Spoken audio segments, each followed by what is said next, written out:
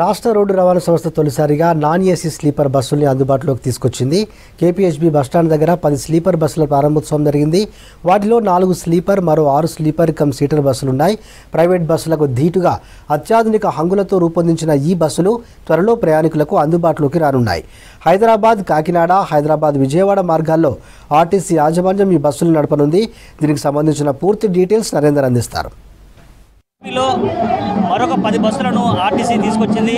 లహరి పేరుతో మనం చూస్తున్నాం కేపీహెచ్పి దగ్గర ఆర్టీసీ చైర్మన్ బాజిరెడ్డి గోవర్ధన్తో పాటు ఎండి సజ్జనార్ ఈరోజు లాంచ్ చేయడం జరిగింది అఫీషియల్గా. ఇటీవల ట్యాంక్ బండ్ మీద యాభై బస్సులను తీసుకొచ్చినటువంటి తెలంగాణ ఆర్టీసీ యాజమాన్యం ఇప్పుడు పది బస్సులు తీసుకొచ్చింది. ఇవి కేవలం హైదరాబాద్ నుంచి విజయవాడ అలాగే కాకినాడ వైపుగా ఈ ప్రయాణించడం చేస్తాయి. ఇప్పుడే లాంఛనంగా ప్రారంభించడం జరిగింది. మనం చూస్తున్నాం అధికారులతో పాటు ఈడీలు వీళ్ళందరూ కూడా తీసుకొచ్చారు. దీంట్లో ప్రత్యేకమైనటువంటి సదుపాయాలు ఉన్నాయి. ఈరోజు ఓపెన్ చేసిన అన్ని కూడా నాన్ ఏసీ సంబంధించినటువంటి బస్సులు మాత్రం మరో ఈ నెల పదిహేను రోజుల తర్వాత ఏసీ బస్సులను కూడా తీసుకొస్తామని కూడా వాళ్ళు చెప్పడం జరిగింది. దీనికి సంబంధించినటువంటి ఎలా ఉంటాయి ఫెసిలిటీస్? అనే విషయాన్ని ఒకసారి ఆర్టీసీ సంబంధించినటువంటి ఎండి అలాగే సత్యనారాయణ మనం మాట్లాడించే ప్రయత్నం చేద్దాం. ఎట్లా చూస్తారు సార్ ఇవి సంబంధించి కొత్త బస్సులు మళ్ళీ వచ్చాయి? ఇవన్నీ పూర్తిగా మన ఇవి హైర్ బస్సెస్ మనము మనము పది బస్సెస్ని హైర్ తీసుకోవడం జరిగింది. సో కాకినాడకు విజయవాడకు మధ్యలో ఇవి ప్రయాణిస్తాం. ఇది హైబ్రిడ్ మోడల్ ఆరు హైబ్రిడ్ మోడల్ ఉన్నాం. కింద ముప్పై మూడు సీట్స్ పైన పదహైదు బర్స్ ఉన్నాం. అదేవిధంగా ఫుల్ మన నాన్ ఏసీ స్లీపర్ బస్సెస్ కూడా నాలుగు ఉన్నాం. సో అవి మొత్తం దాదాపు ముప్పై సీట్స్ ఉంటున్నాం. సో అట్లా కాకుండా మనం నెల ఆఖరికంట ఏసీ బస్సెస్ కూడా రాబోతున్నాం. మన సొంతంగా ఏసీ బస్సెస్ అవి పదహారు బస్సెస్ అవి విజయవాడ వైజాగ్ బెంగళూరు తిరుపతి హుబిలికి అవి డెసిగ్నేట్ చేయడం జరిగింది. ఓకే. ఇప్పుడు ఈ వీటితో పాటు మొత్తం ఎన్ని బస్సులు ఇప్పటివరకు మనం రాష్ట్రం ఏర్పాటు కొనడం జరిగింది? రానున్న రోజుల్లో ఎలక్ట్రిక్ బస్సులకు డిమాండ్ చాలా ఉంది. అవి ఎప్పుడు రాబోతున్నాయి? దాదాపు ఈ మధ్యలో మనము వే బస్సెస్ పైన కొంటున్నాం? మనము ఐదు వందల అరవై ఎలక్ట్రికల్ వెహికల్ వెహికల్స్ కోసం కూడా టెండర్కి వెళ్ళడం జరిగింది. మంచి రెస్పాన్స్ రావడం జరిగింది.